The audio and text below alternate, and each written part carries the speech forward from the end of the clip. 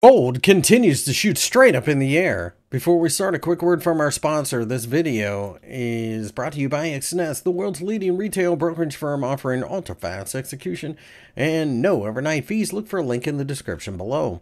The gold market has shot higher during the trading week as we uh, have broken above the $2,700 level.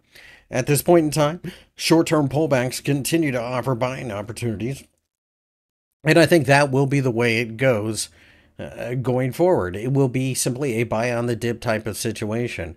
The $2,800 level is my next target, and I think we probably get there quicker than most people anticipate.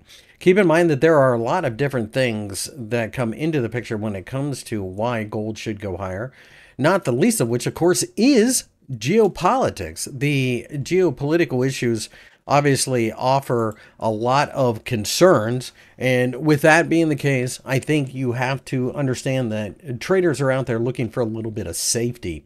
Central banks around the world are also buying gold, and therefore it has an automatic bid in the market, if you will. At this point in time, anytime the market pulls back, I think there will be plenty of buyers willing to get involved especially as interest rates are being cut around the world, because that also makes gold a little bit more attractive. I have no interest in shorting this market, and I do think that we have much, much further to go. And I have a target of $3,000. And for me, at this point in time, the only question is can we get the $3,000 by the end of the year? I suspect yes, we can. But even if we don't, I would anticipate that early in 2025, we will see that crucial level tested.